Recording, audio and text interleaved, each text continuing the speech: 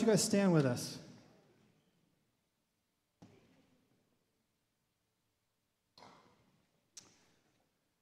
I'm going to invite you guys to do something different this morning. We've never done this um, together. But I, I want to invite you, it's maybe weird, but I want to invite you guys to open your arms like this.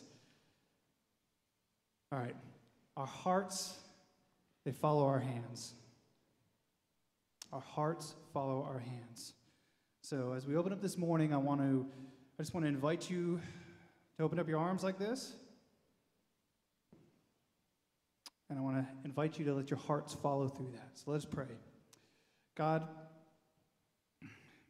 as we open our hearts, would you pour yourself out upon us? Would you pour yourself out upon us?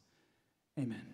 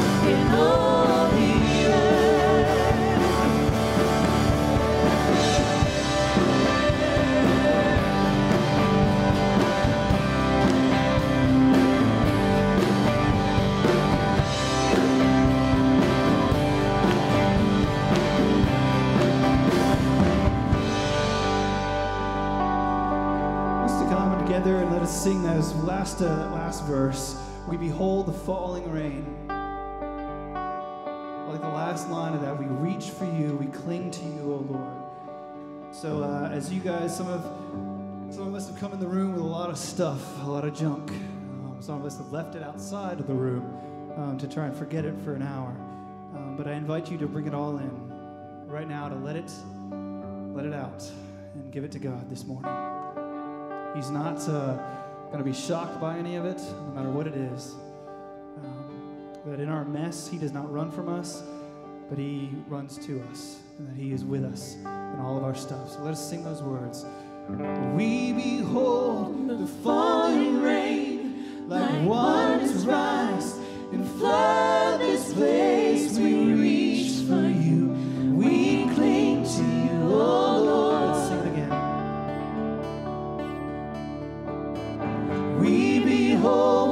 Falling rain like waters rise and flood this place. We reach for you. We cling to you, oh Lord. And oh,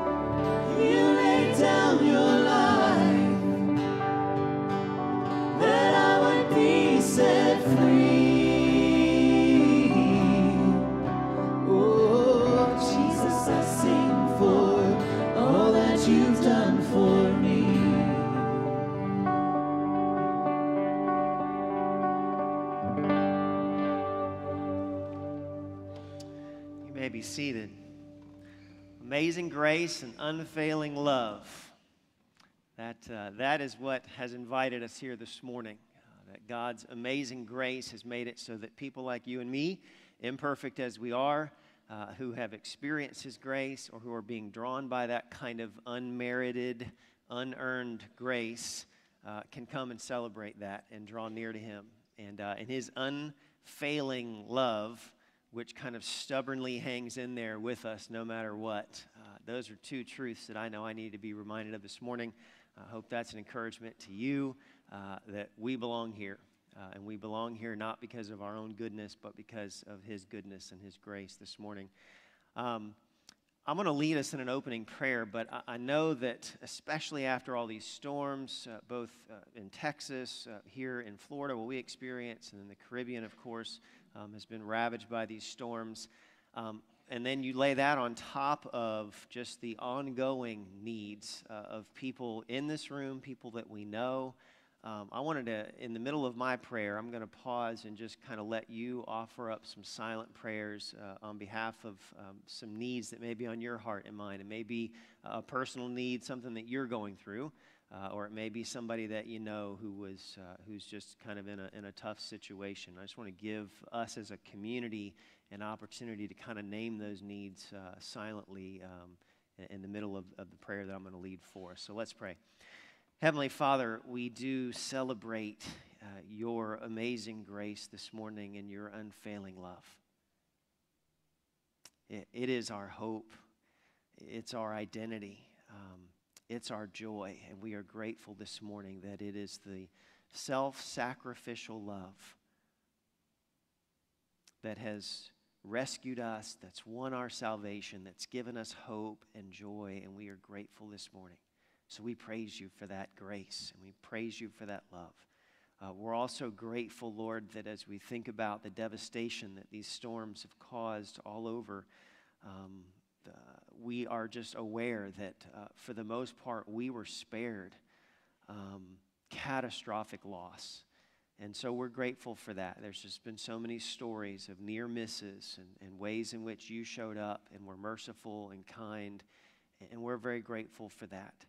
Um, that's not been true for everybody. There have been a lot of tough, hard situations. There have been uh, loss of life. There's been um, widespread damage here the Caribbean and Texas. And so we ask that in those much harder, difficult situations of loss and devastation, that your grace would be sufficient. We pray that you would mobilize uh, Christians in all those places to give sacrificially, to love sacrificially, to, to reach out to neighbors and to be your hands and feet and make sure that your presence is in each of those dark, hard, tough situations going forward. We think of um, Puerto Rico and, and just what, what is ahead for them.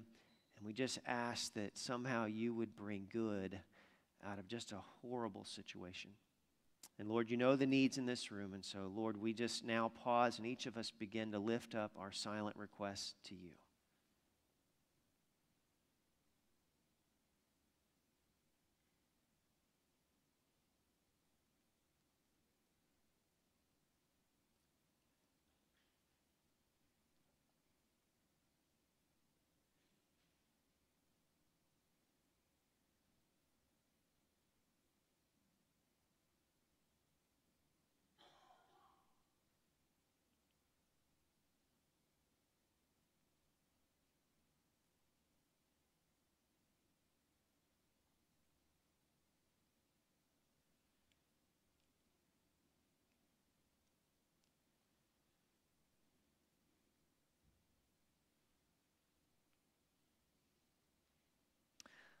Lord, we are confident because of your grace and your promises that when we offer up our requests like we just have and we kind of stand in the gap and we lift up the people that we love and we cry out to you personally, we are confident that you hear our prayers and that you move in with your strength and your goodness in each of these situations. And so we anticipate and are anxious to return praise back to you for the ways in which you are going to move into each of these situations and show yourself to be our strong and faithful Father who cares.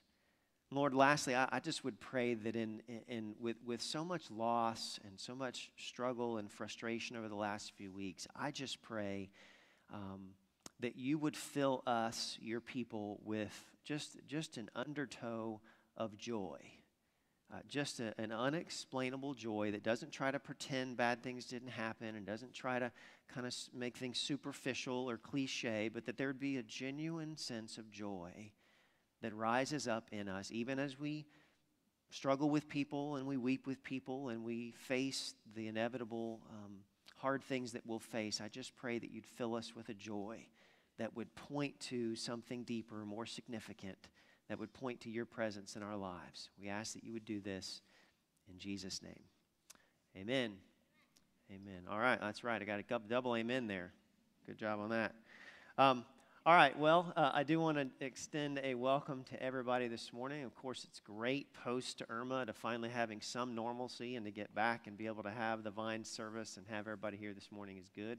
Um, if you are live streaming with us, want to extend a special welcome to you and glad that you're participating and continuing in the community life of our church through uh, the live stream. And if you're a guest, I've already I've met a couple new people this morning, which is awesome. Uh, it, it's a it's an, a, great privilege for us always to see new faces and um, to have people join us as guests, uh, regardless of where you are in your spiritual journey. Sometimes people come and they're not even Christians or wouldn't even say they're Christians, but they're they're here for a lot of different reasons, and uh, that's great. You're welcome, and we just want to say uh, that, that our hope is that you will experience some love and acceptance and, uh, and something of the love of God as you worship with us this morning. And um, the only thing we really ask, if you are a first time guest, if you will, there's a, uh, a slip, an information slip in your worship guide. If you'll take a few minutes and fill that out, and you can place that in the offering baskets as they're passed a little bit later, uh, or you could take it out to the information table after the service and exchange that for a little gift bag with some information about our church. I uh, encourage everybody to fill these out and especially use these for the prayer concerns. Uh, I know there's probably an increase uh, of, of, needs that we're all aware of. Um, feel free to jot those down. We have a team of people and the pastors who will pray over each of these needs specifically uh, every week. So this really does matter, and these prayer requests do get prayed for.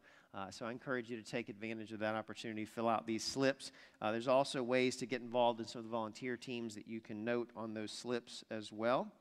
Um, just a, a, few announcements. Um, today, there is a new member orientation. And so, if you've been visiting the church or you've been maybe attending here for a long time, could be years really, uh, but you've never really crossed the line of kind of a formal commitment to really um, commit to the mission and the life and the community um, of First Presbyterian Church, um, then I invite you just to come. Even if you haven't RSVP'd, you can join us in room B. Uh, it's a free lunch. Um, and there's, there's no commitment uh, to just showing up. If you show up, you're just learning about what it would mean if you decided that you did want to join the church. Um, it gives, we cover a lot of information about who, what we believe, kind of what are our values, what are our commitments, and what it means to be a member. So we'd love to have you join us today. That's right after the morning, this, uh, this service in room B. Um, the second thing is our family nights, which is on Wednesday nights, are, are really kind of back up and running. We have um, child care and nursery. We have kids ministries and our teen ministry, but we also have um, adult classes and small groups, a lot of options. And so it's a great kind of middle of the week. Connect with your church family, kind of grow in your faith, um, connect relationally with people. So jump in if you haven't already. Many of those things are just getting underway. It's not too late to be in one of those groups or classes. And then the last thing is today we're starting, you might notice on the front of your bulletin, we're starting a new series called Basics. And over the next five weeks, Zac and I are going to be exploring with you um, just what are the basics of the Christian faith. Um, and this, th- this is, here's why this is important. I think this hits probably everybody in the room. It could be that you're either not a believer or you're kind of a new believer, and sometimes just getting the basics kind of clear again in your mind. What, is it, what does it really mean uh, to be a Christian? What, what does it mean to have faith? Uh, what, is, what is it that God's done for us? And what is it that we receive when we trust Him? Um, just getting those clear is great if you're at the beginning of your spiritual journey. But everybody else don't say, oh, well, that's, that's the basics. I don't really need that. Because here's the thing we forget, don't we? We all forget some of the most important truths and promises and realities of what it means to be someone who follows Christ and who's experienced the love of God. Sometimes it gets monotonous, sometimes we just get busy. And so, this is going to be a great way to kind of reignite your faith, deepen your faith a little bit more. And one of the things we're doing as part of this is uh, because we're dealing with kind of the basics of faith and, and um, some, of the, some of the experience of, of grace at the very beginning of somebody's walk with Christ, um, we're going to have two Sundays where we're actually going to do baptisms that are part of the service. On October 8th and October 15th, we're going to do baptisms uh, in the service uh, for people who have never been baptized before. And so oftentimes you'll see infant baptisms and um, that sort of thing. And then when kids go through confirmation when they turn 13 or eighth grade class, uh, we do baptisms. Um, but it's not uh, as often that we get to baptize adults in here. And so this is an opportunity if you've never been baptized, uh, and maybe you've been a Christian for a long time, maybe most of your life, but you've never had a public experience of baptism, uh, then this is your opportunity to do that. Or if you're new in the faith and you haven't been baptized.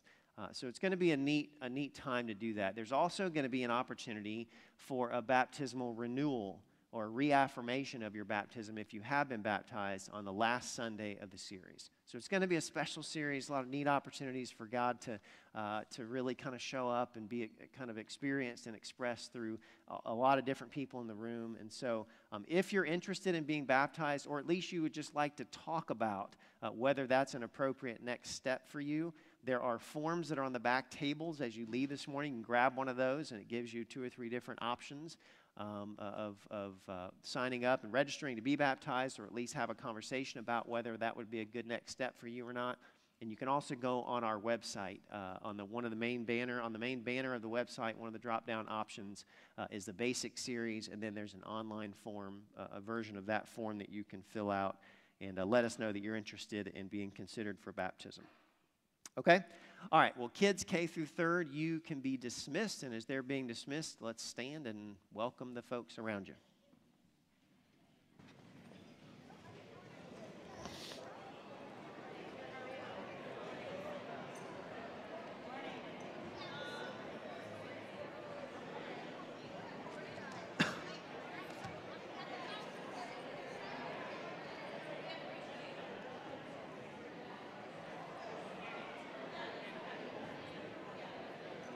Hey.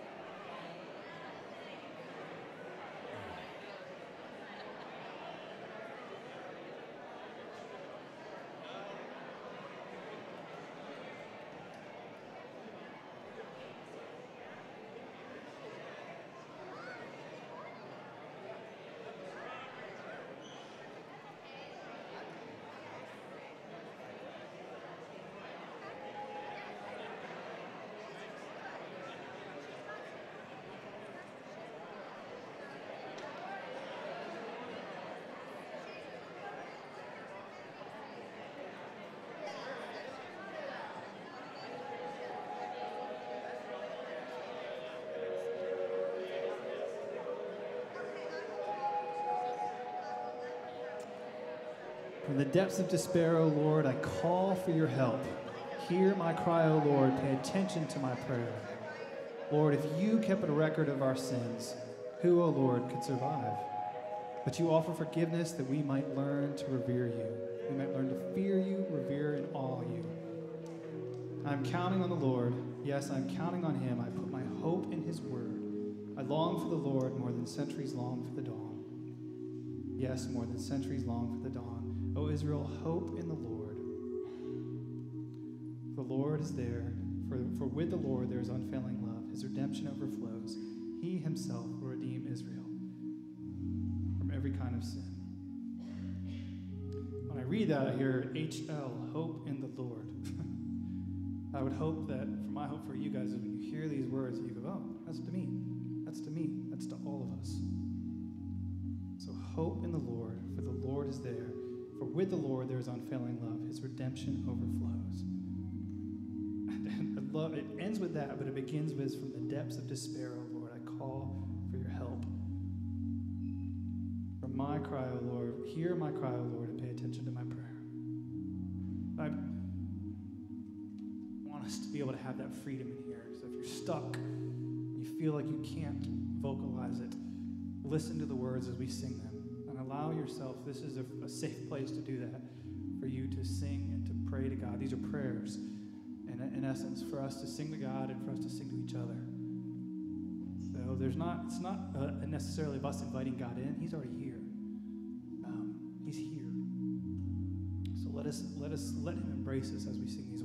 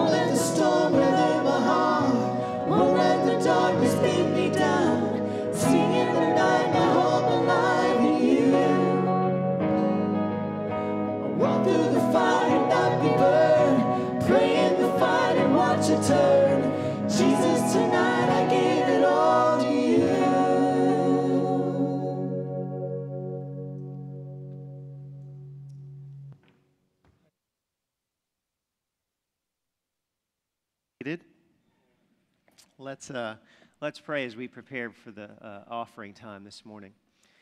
Lord, even as we have sung those words, um, that we give our all to you. Um, you have led us through the storms, through the hard times, through uh, times of doubt and uncertainty. And in every one of those situations, you have shown up and been faithful and taken care of us. And we're grateful for that. And so, of course, Lord, with, with all of our life, uh, we want to surrender that to you. And that, of, of course, would include the resources that you have given us to manage our money. And so, Lord, every week we do this, and, and our prayer and our hope today again, Lord, would that this would be an act of worship to you.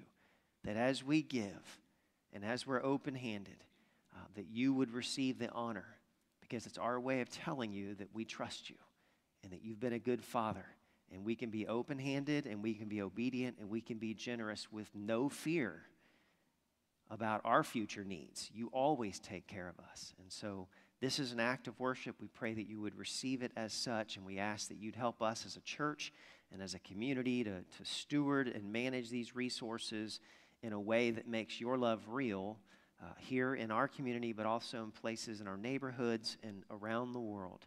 That would be our prayer. And Lord, as Zac prepares to uh, open up your word for us this morning, we are grateful for his heart and his leadership. And we ask that, Lord, you would enable him to preach and speak and teach your word with great clarity, but also in a way that's consistent with the burden that you've put on his heart today, that he would share the things uh, that will matter most for this community. We ask that you would do these things in Jesus' name. Amen. Okay, so as the ushers come forward, I want to read this morning's scriptures. We kind of kick off this new series. We're beginning today, at least, in Genesis chapter 3. And I'm going to read the first 19 verses. reads this way Now the serpent was more crafty than any other beast of the field that the Lord God had made. He said to the woman, Did God actually say, You shall not eat of any tree in the garden? And the woman said to the serpent, we may eat of the fruit of the trees in the garden, but God said, You shall not eat of the fruit of the tree that's in the midst of the garden, neither shall you touch it, lest you die. But the serpent said to the woman, You will not surely die. For God knows that when you eat of it, your eyes will be opened, and you'll be like God, knowing good and evil. So when the woman saw that the tree was good for food, and that it was a delight to the eyes, and that the tree was to be desired to make one wise, she took of its fruit and she ate. And she also gave some to her husband who was with her, and he ate. Then the eyes of both of them were opened, and they knew that they were naked. And they sewed fig leaves together and made themselves loincloths. And they heard the sound of the Lord God walking in the garden in the cool of the day. And the man and his wife hid themselves from the presence of the Lord God among the trees of the garden. But the Lord God called to the man and said to him, Where are you? He said, I heard the sound of you in the garden, and I was afraid because I was naked and I hid myself. He said, Who told you that you were naked? Have you eaten of the tree of which I commanded you not to eat?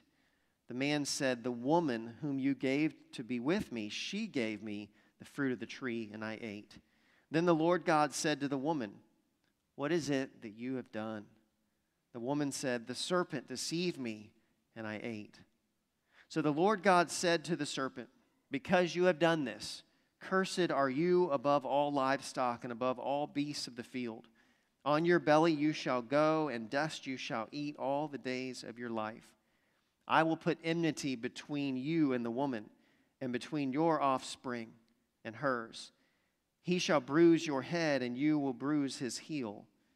And to the woman he said, I will surely multiply your chain, your pain in childbearing. In pain you shall bring forth children. Your desire shall be for your husband, and he shall rule over you. And to Adam he said, Because you have listened to the voice of your wife, and have eaten of the tree of which I commanded you, you shall not eat of it. Cursed is the ground because of you. In pain you shall eat of it all the days of your life. Thorns and thistles it shall bring forth for you, and you shall eat the plants of the field. By the sweat of your face you shall eat bread till you return to the ground, for out of it you were taken. For you are dust, and to dust you shall return. It's God's word and it's trustworthy.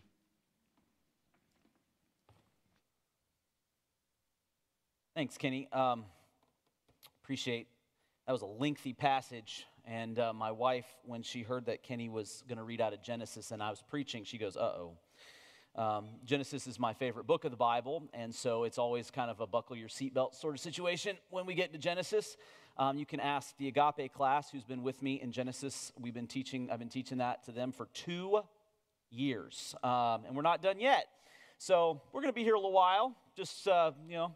Uh, first, before you get into this, I just want to say, it, it, like Kenny already had mentioned, man, it's really good to be back uh, in Vine. Uh, Irma kind of disrupting our worship schedule for the last couple of weeks has been, um, you know, last week was, was amazing. It was great to be together in the sanctuary and kind of share stories. That was uh, wonderful and, and a good kind of a healing time. We've had folks that have come up to all of us and said, man, it was just a really healing service, uh, so that was good. And then the week before, uh, we canceled service because Hurricane Irma was was coming through, and I was one of those holdouts. Uh, being a pastor, being the son of a pastor, being the son-in-law of a pastor, being the brother-in-law of two pastors, I am a holdout. You know, I was one of those that goes, we could we could have church. It's not coming until midnight. I mean, we could have church, right? I mean you know, no regard. But then, then we woke up and I kind of looked out the window, and yeah, in fact, it was pretty windy. And I was like, yeah, maybe it's a good idea we don't have church today. But um, Irma was uh, an interesting thing. It taught me a lot. It taught me a lot about people. It taught me a lot about um, just our ability to prepare for things. And it was interesting to watch people prepare because I think Floridians, we know how to prepare for stuff like hurricanes. I feel like we get pretty prepared. I mean, weeks in advance, people are starting to buy things batteries, uh, you know, hurricane snacks, hurricane snacks, and um, you know things like that. And and then you know as you get closer in, as the track kind of moves closer and closer, and you realize, okay, yeah, it's really coming. Then you really understand what's important. And one of the first things that kind of flies off the shelf and is really hard to come by is is water. You know, we understand that clean, we kind of take it for granted in our normal life that we're going to have clean, reliable sources of water. That's very different than the vast majority of the planet. We take that for granted until there's something like a hurricane that comes through. And then we realize that maybe, maybe our clean and reliable source of water will be uh, disrupted. And so we go out and we stockpile uh, bottles and bottles and bottles of water. If you have two liters, you empty those two liters out and you fill up those bottles of water. You fill up your bathtub with, with water because you know that if you want to survive at the base level, you need water. I mean, next to air, water is maybe the most important element we have for to, to survival. You know, without air, you're only going to last, you know, a couple minutes. Without water, you're just going to last a couple of days. And so we, we know we need these clean, reliable sources of water because that's one of the most foundational, basic elements that we need for survival. And then as the storm gets closer, we start to think about our emotional needs. You know, if we have to leave our home, what do we take with us? You know, if you're like my family, we talked about that. You know, if we if it comes through and we have to get out or or there's like some major damage to our home, what are we taking? And and so we packed suitcases full of photo albums and full of you know hard drives that have the digital copies of those photos. And in fact, that that suitcase is still got the photo albums in it because I'm still a little bit nervous uh, uh about another hurricane just popping up on the coast. You know, who knows? Um, we know at the most basic level what we need to survive physically and to survive emotionally. And it kind of teaches us a lot about ourselves. When I talk to folks following the hurricane, some people had some really bad damage, you know, damage to their homes. But almost without fail, when I would talk to them and they would tell me about, you know, holes in their roofs and leaks and water coming up from the ground and, and, and, and walls that were ruined, they would almost inevitably follow it up, but we're okay because we're safe. And it wasn't like this cheesy cliche, we know the right things to say. There was a genuine relief that at the most basic level, they had survived with their family and they were going to be okay. You know, that's, that's what we grab onto in times of real strife and, and real hardship. We grab onto those most basic things. And, and so when it comes to our spiritual life and our faith life, you know, a lot of times we get torqued up about questions like all over the map. You know, how does science and religion, how do those two things coexist? What about the historicity of the book of Exodus? Are you a complementarian or egalitarian when it comes to women in ministry? If you have no idea what I just said, that's okay. Count yourself lucky, okay? Do, do we fully immerse in baptism or do we sprinkle with a little bit of water? We do both, by the way. Um, do we baptize infants or don't we baptize infants? Are you a, a, a liberal or are you a, a, fundamentalist? Are you mainline or are you an evangelical? We get all torqued up about all these different questions. And I'm just going to tell you right now, as we look at kind of the, the, the Western church, I got to say, we're in a crisis about all of those questions. And it's not that those questions are important. They are important, but they're not basic. They're not basic. Those questions do more to divide than to bring us together. And that's why when, when Kenny and HL and I, we sat down, we started thinking about what, what does our community need? I, I, we just felt like we needed to get back a little bit to the basics. You know, what does it really mean to have faith? What does it really mean at the heart of hearts to have faith? And again, it's not that those other kind of periphery questions aren't important, but it's a, if we focus so much on those questions, it's a little bit like preparing for a hurricane uh, by stocking up on peanut M&Ms before you have your water. And it's not that peanut M&Ms are important; they are. I'm looking at you, Danny. Uh, you know, I understand. Got to have your peanut M&Ms, but they don't matter at all if you don't have a clean, reliable source of water. And so today we're going to start this series. The next five weeks, we're going to be talking about the basics. And I'm just going to spoil the whole series for you, okay? Because we're going to talk about three basic questions. We're going to be discussing three basic questions. And the first question is why is the world so messed up? Why is it so messed up? And then the second question is what has God done to respond to that messed up world? And then the final question is how do we respond to God? In light of all of that?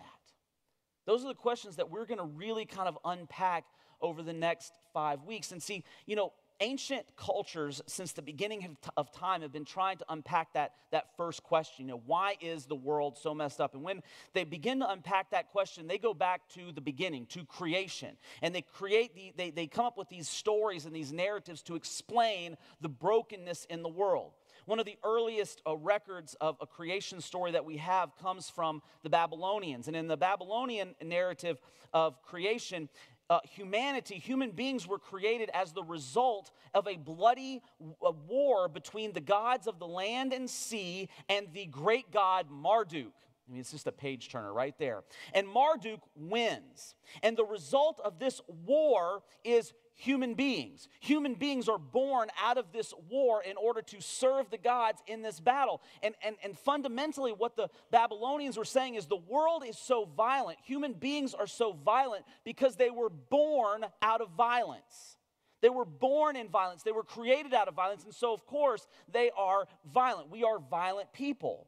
And you can understand how they would come to that sort of conclusion. But when we open the Bible, we see an entirely different picture. In the beginning, it says, God created the heavens and the earth. God is the ultimate source of our creation. Now, I'm not getting into the science and religion debate right here. All I'm going to say is at the most fundamental level, we have to rally around the idea that God created us. Now we can get, you know, into debates about, you know, literal 24-hour day, 6-day creation, gap theory, how does evolution tie? That's all again periphery questions. What's important is that God created the heavens and the earth. And when he created the heavens and the earth, at every stage of creation, he looks at what he created and he said, "It is good." It is good. And in verse 31, after he looks at the totality of creation, including human, human beings, he says that it is very good. It's not created in violence, it's not created with pain, it's not created with hurricanes and hardship. It's created very good. And at the center of that creation, he put human beings. He put Adam and Eve. And he put Adam and Eve in the middle of a particular neighborhood. We call that neighborhood the Garden of Eden. And he gave them a responsibility in that neighborhood to work it, to have responsibility over it. The Hebrew actually says that he gave them the responsibility to actually guard this, this neighborhood. And, and this work, it wasn't like the work that you and I experience, where, you know, we have bad days and sometimes we have jobs that we don't like. He gave them this work, and this work was going to be a joy. He had created them uniquely to fill in that function, to work and to keep the garden. It was not a, a, a, a labor, it wasn't toil, it was a joy to work and keep the garden. And in the middle of that, that, that job, that, that wonderful, joy filled job, he gave them one prohibition. He gave them one prohibition in the middle of the garden. He planted a tree and he says, From that tree, that you can eat of any tree, but the tree in the middle of the garden, in the midst of the garden, the tree of the knowledge of good and evil, you cannot eat it. You can't eat it, and when you eat it, you will die. He gave them everything they needed to be not just happy, but fulfilled. Gave them paradise and one prohibition, one rule don't eat of the tree in the middle of the garden, the tree of the knowledge of good and evil. Now, there's a host of questions that kind of pop into our minds when we start to read this, this, this, uh, this passage. Why did God give them the tree in the first place? I mean, if God gave them paradise and He put people in the middle of that paradise to work and keep and guard, enjoy this their, their neighborhood, this, this, this Garden of Eden, why put the tree in the middle in the first place? Or, or better yet, why doesn't God want Adam and Eve to have the knowledge of, good and evil? Why, why wouldn't that be a benefit to them? And, and those are important questions, and the answer really comes down to one word trust.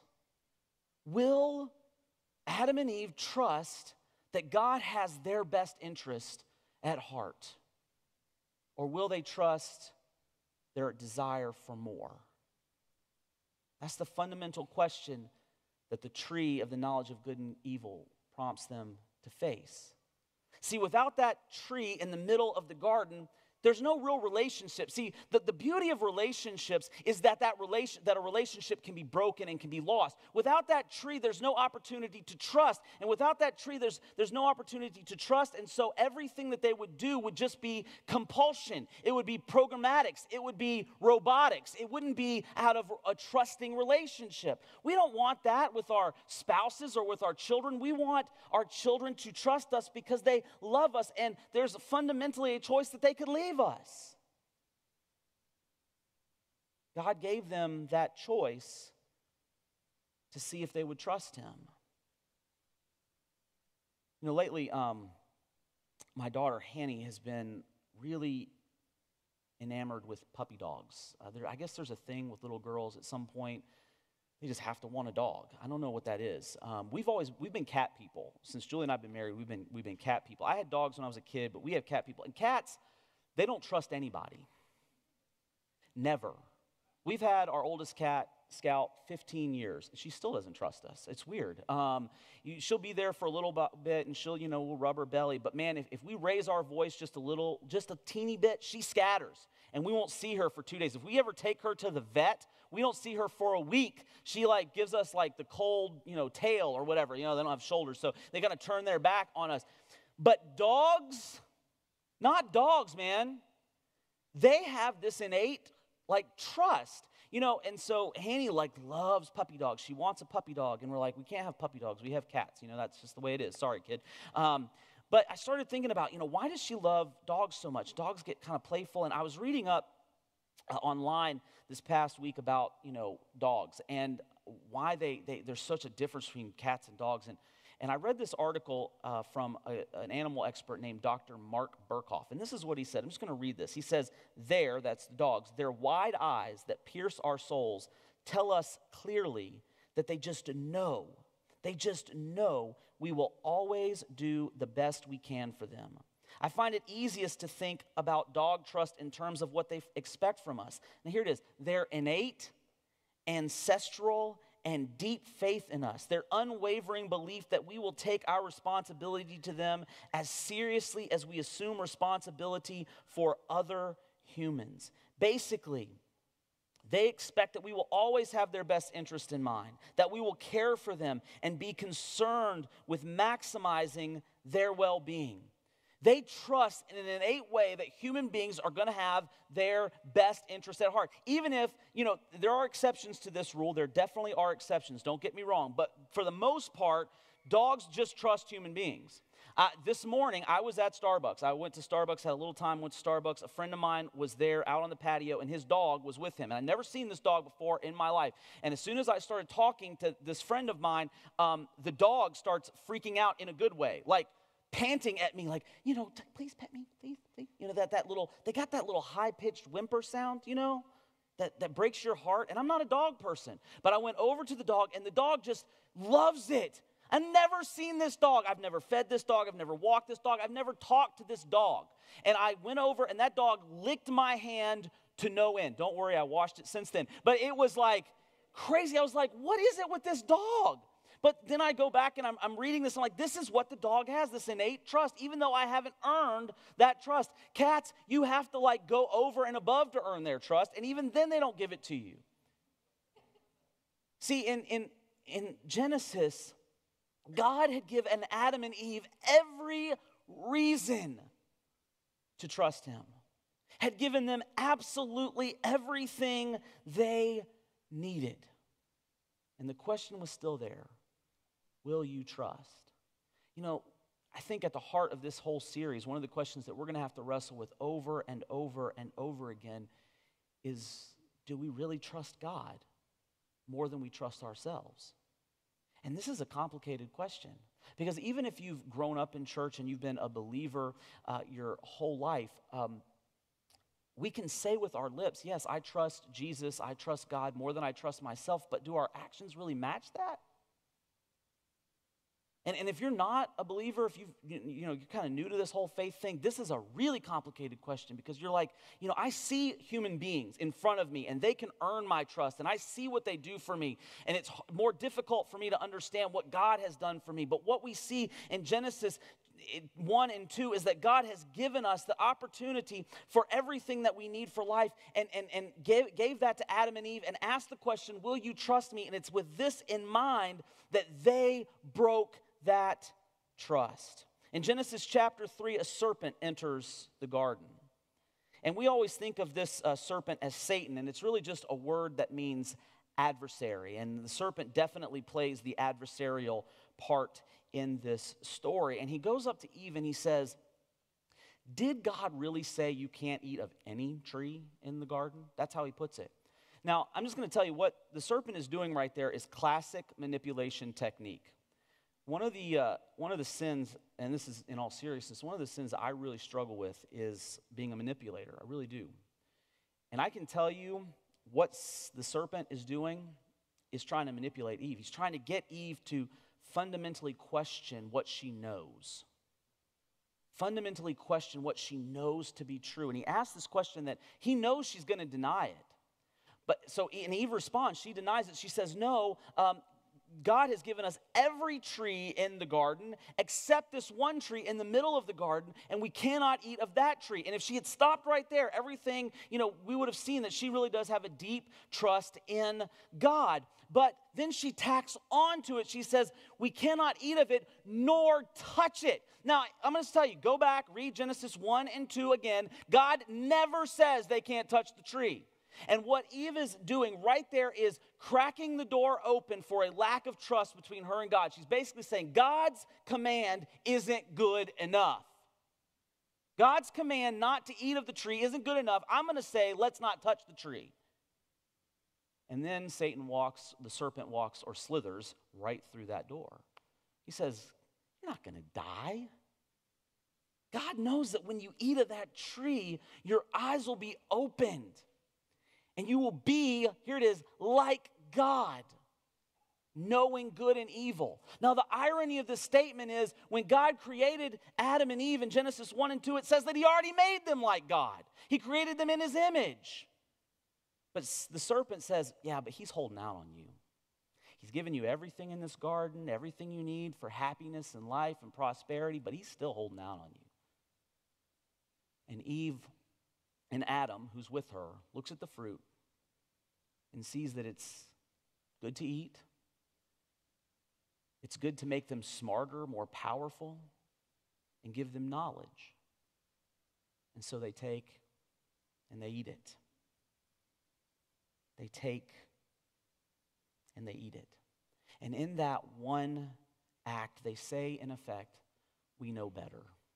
We trust ourselves. We know better than the all powerful creator of the heavens and earth who spoke the cosmos into existence. We know better. And this attitude, this I know best attitude, I've got it all figured out attitude, I can do it myself attitude, this attitude, we call that sin. That's what sin is. And in this moment, it breaks the entire world. God shows up in the middle of the scene to check on his children, Adam and Eve, and he asks, Where are you? Because they had hidden. They had run from, from God's presence because they once they ate the fruit, they saw, wait a minute, we have no clothes on. We're naked, even though they'd been naked the whole time. But now they feel shame. And so they run and hide. God had, had taken that out of the equation, shame and guilt, and now they had it. And God said, How did who told you that you were naked? Did you eat of the tree that I told you not to eat? And this is classic, the very first marital spout, spat. Adam says, She made me do it. That woman, and I'll, this is this is so gutsy, man. This is just as gutsy as it get, gets. This woman by the way, God, who you gave to me, she made me eat. She gave some, gave it to me to eat. And then Eve passes the buck. The serpent, the serpent, you, you, you, the serpent, he's the one that's really at fault here. They broke trust, they broke their relationship, and the consequences for Adam and Eve and for all of creation were dire. God says to the woman, I will multiply your pain in childbearing. In pain you shall bring forth children. Your desire shall be for your husband, and he shall rule over you. And to Adam he said, Because you have listened to the voice of your wife and have eaten of the tree which I commanded, you shall not eat it. Cursed is the ground because of you. In pain you shall eat of it all the days of your life. Thorns and thistles it shall bring forth for you, and you shall eat the plants of the field. But by the sweat of your face you shall eat bread, till you return to the ground. For out of it you were taken, for you are dust, and to dust you shall return there's an immediate break in the trust between God and the pinnacle of his creation, humanity. And in this break of trust, there's a seismic shift in how the world will operate. Adam and Eve were supposed to work and care for their neighborhood, enjoy, and now work has become toil and labor and difficult and something you got to retire from.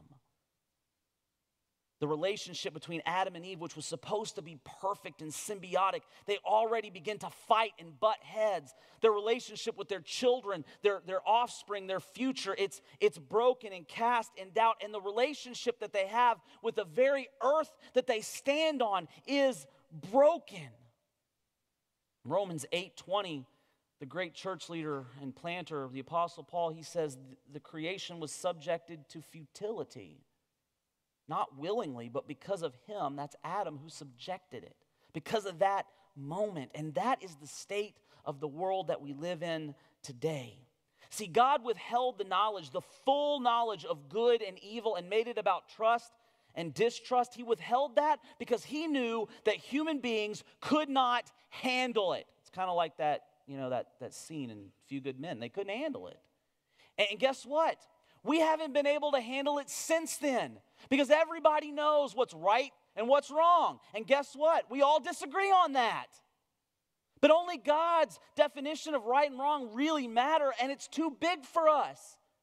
Romans chapter 1, it says, We exchange the truth of God for a lie, for our own desires, for what we want. And that puts us in conflict with others, and the cycle goes round and round and round. And you know, look, we can look at Adam and Eve, and I, I, I remember Caleb and I talking about this story when I was first telling him the story. He's like, well, you know, if Adam and Eve just hadn't messed this up, things would be so very different.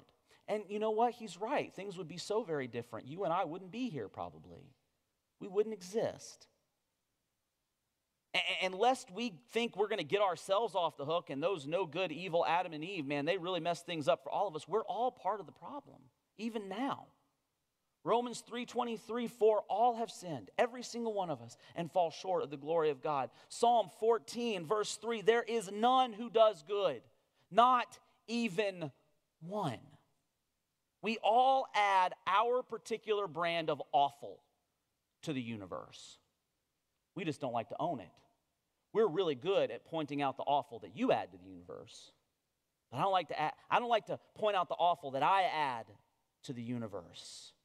We all struggle with telling God in word or in our actions that we know best, that we can handle it.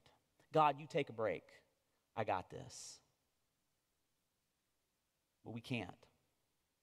The proof is right there in, in the world that we live in the division, the, garbage heap that is our political system, the brokenness in the environment, the brokenness everywhere that we look. It is evident that we live in a broken and fallen world. But God, here's the cool thing God hasn't left us alone. See, God did tell Adam and Eve that if they ate of the tree, they would die. But God holds off. He takes his foot off the brake of judgment. Yeah, he, he gives them consequences, but he takes the foot off the brake of total judgment in order to demonstrate grace. And even in the middle of passing judgment on their sin, he provides hope. In, in Genesis chapter 3, before he talks to Adam and Eve, he talks to the serpent. He says, Because you have done this, cursed are you above all livestock and above all the beasts of the field. On your belly you shall go, and dust you shall eat all the days of your life. And I will put enmity. He's, that means I will make you an enemy between you and the woman, between your offspring and her offspring. He shall bruise your head, and you shall bruise his heel. In two verses, God declares war war on evil, not on us, on evil, and on the author of evil. He says, In the end, I'm going to win. In the end, evil will not have the final say. In the end, my grace, God's grace, is bigger than all the sinfulness and all the evil in the world. He says that there will be a seed, an offspring, that will carry this grace to fruition. You know, that story of a chosen one. You know, that's, that's what he's talking about. There's going to be a chosen one that will defeat all evil. That story of a chosen one, that narrative, that has captured the imagination of filmmakers and authors and poets and songwriters for thousands and thousands of years. That's why we have characters like Frodo Baggins from The Lord of the Rings. That's why we have characters like, like Harry Potter. That's why we have characters like Neo from The Matrix. That's why we have characters like Luke Skywalker from Star Wars. I'm, pick, I'm saying somebody's language here, okay?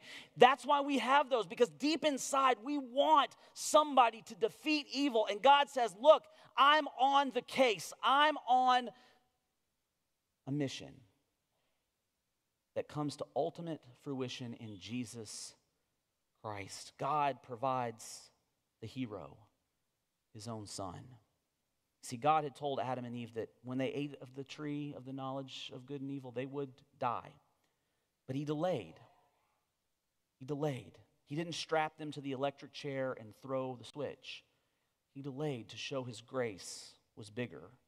Jesus died, and even, even though he had never sinned, he took the sin of the entire world on his shoulders to the cross because the, the sin of the world required that death. Jesus took that bullet because he, he loves us. And yet, he didn't stay dead. He didn't stay dead, but he conquered death and rose again so that anyone who trusts him, anyone who trusts in that story, who says, you know what, I have messed this up, I cannot do it, I'm giving it to you, they can exchange death for life in Jesus Christ. In the next couple weeks, we're going to talk a lot more about what that looks like, but it's enough to ask the question now who do you really trust? See, God, God calls us to trust Him, whether it's at the start of a new journey of faith or it's a recommitment. But that call is for us to give up our futile ways, our, our, our futile life, trying to trust ourselves only to see it kind of fall apart and answer the call that takes up a life that puts our trust in Him. He is the solution to the problem. Can be the solution in our lives if we will be willing to answer that call. Let's pray. Gracious God, we, Lord, we know that the world's messed up. We don't, we don't need reminding of that, but, but we need reminding that that wasn't the original design. Lord, help us to, to take ownership of our, our our particular sin and turn that over to you in trust that through Jesus Christ, you offer not just forgiveness, as great and wonderful as that is, but a conquering of the power of sin on our lives so that we can live differently. We can live reflecting your grace and mercy and love. Lord, we pray that you would overwhelm us. In Jesus' name, amen.